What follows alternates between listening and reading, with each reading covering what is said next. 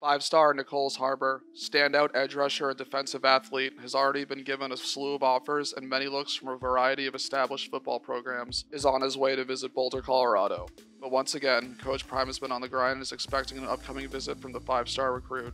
Nyckoles Harbor, a defensive player and edge rusher specialist, is in the class of 2023, plays for Archbishop Carroll High School, and is 6 foot 5 inches in height and weighs roughly 225 pounds. Nyckoles is a big, tough, and intelligent five star recruit who is very seasoned and experienced, establishing where his team is strategically on the field at all times, and he is highly capable of beating out the opposition all around.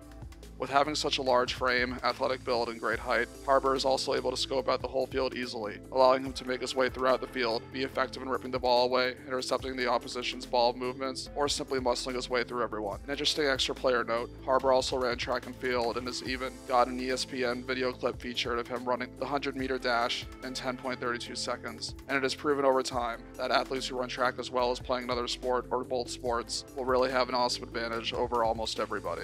Harbor has also visited a series of colleges and gotten a bunch of offers as well, featuring reputable programs such as Oregon, Georgia, Maryland, Michigan, South Carolina, and the Miami Hurricanes in the mix. It shows a lot of promise that a new head coach, such as Deion Sanders, is able to lock in on big time recruits such as Harbor, because adding a weapon as versatile as Nyckoles, especially on the defensive side of the ball, will be a long term valuable asset in addition to the Buffaloes. Overall, Nyckoles Harbor is an extremely talented recruit who has a very high ceiling regarding his potential. Hopefully, Nyckoles Harbor will join other five star legends such as Travis Hunter, who have joined Coach Prime in Colorado, but we'll see what happens. Best of luck to Nyckoles Harbor, Coach Prime, and the Colorado Buffaloes. Everyone involved has done a great job from the head coach coach to new recruits and updated staff.